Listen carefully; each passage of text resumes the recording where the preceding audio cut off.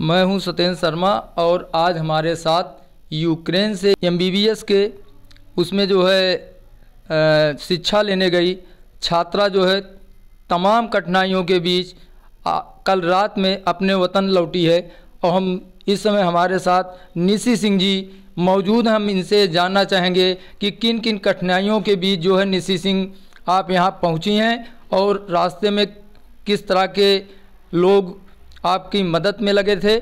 आइए हम निशी सिंह सिंह जी से ये जानना चाहेंगे। निशी जी। जी सर मेरा नाम निशी सिंह है और मैं यूक्रेन में इवानो सिटी में Ivano Frankivsk national medical university में एमबीबीएस की स्टडी कर रही थी। फिर ए, पिछले एक महीनों से ये सब वॉर का सिलसिला चल रहा था।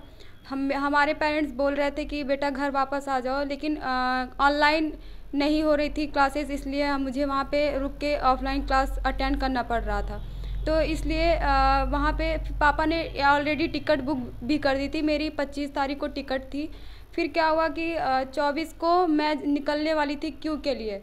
फिर क्यू नहीं गई तो सुबह में बस पापा का कॉल आया कि बेटा वॉर शुरू हो गया। तो मेरी सारी टिकट वगैरह कैंसिल हो गई। सब मेरे घर वाले बहुत परेशान हो गए।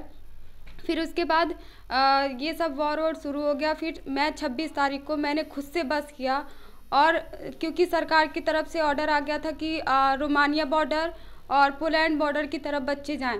तो मैं मैं रोमानिया बॉर्डर की तरफ़ निकल गई और फिर बस बस ने मुझे रोमानिया बॉर्डर आठ किलोमीटर पहले छोड़ दिया। फिर मैं पैदल वहाँ से आठ किलोमीटर पैदल चल के मैं रोमानिया बॉर्डर पे आई तो वहाँ पे देखा बहुत सारे बच्चों की भीड़ भीड़ थी। उस भीड़ में मैं भी थी और बच्चे पैर किसी कोई आ, मतलब इतना ज़्यादा वो पैनिक हो रहे थे कि सबकी हालत ख़राब हो रही थी। फिर क्या हुआ कि कैसे कैसे करके मैंने बॉर्डर क्रॉस किया और बॉर्डर क्रॉस करने के बाद ह- मतलब हेल्प बहुत ज़्यादा अच्छे एमबीसी ने हमारे बहुत अच्छे से ध्यान दिया। फिर उसके बाद अ, मुझे बस से 400 किलोमीटर दूर एयरपोर्ट था रोमानिया का एयरपोर्ट वहाँ पे ले जाया गया और अ, हम फिर फिर वहाँ पे फ़्लाइट पे बैठे और फ़्लाइट पे भी हमारा बहुत अच्छे से ध्यान दिया गया इन सब के बीच बॉर्डर क्रॉस करने के बाद। और यही कहना चाहती हूँ कि बस जो बच्चे फंसे हैं बॉर्डर पे, उनको कैसे भी करके निकाला जाए, क्योंकि वो बहुत परेशान है और स्नोफॉल भी होने लग गई है इस टाइम तो वो ठंड में माइनस टेम्परेचर है, ठंड में कैसे रहेंगे? यही सब चीज़ें हैं कि बसेस बसेस का नंबर बढ़ाया जाए और फ्लाइट्स का नंबर बढ़ाया जाए. तो ये सब चीज़ें करेंगे तो बच्चे जल्द से जल्द इंडिया वापस आ पाएँगे.